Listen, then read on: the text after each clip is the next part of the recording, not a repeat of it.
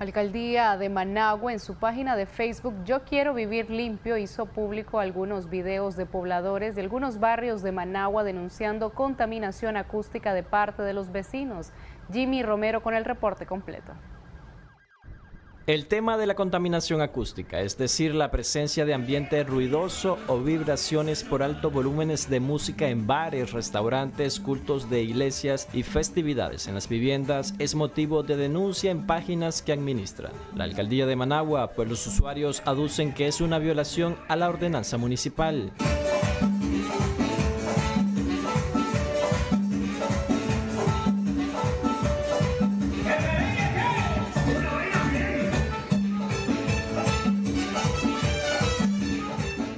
La ordenanza, según Marvin Pomares, director del Instituto de Defensa del Consumidor INDEP, establece sanciones a personas que provoquen contaminación de niveles sonoros nocivos. Sin embargo, cuestiona que pocas veces las autoridades la aplican se está en contra nada más del alto volumen que, estos señores ponen, pues, y a altas horas de la noche. Vos sabés que después de las nueve de la noche la gente está descansando y un ruidito que ponga se oye en todo el barrio.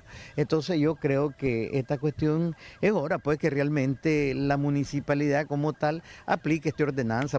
En el país aún no existe una ley que regule esta problemática que año tras año se acrecienta. También existen denuncias contra los carretoneros que compran chatarra, vendedores ambulantes y otras actividades pasan esos chatarreros que andan comprando chatarra y, el sonido que llevan es excesivo. Y pasan a las seis, seis y media de la mañana cuando muchos niños todavía están durmiendo. Entonces, e, esos también andan con... Ahí tienen que aplicar la ley para evitar eso, hasta lo asustan a los niños. Por un lado, ya te hablé lo del mercado oriental, pero también andan, cuando se andan promocionando algún producto, andan una barata y se estacionan en un, en un lugar y la gente se pone inconforme con semejante De enero a diciembre del año pasado, el INDEC retomó 13 denuncias de ciudadanos quejándose principalmente del ruido ambiental por actividades religiosas. Jimmy Romero, Acción 10.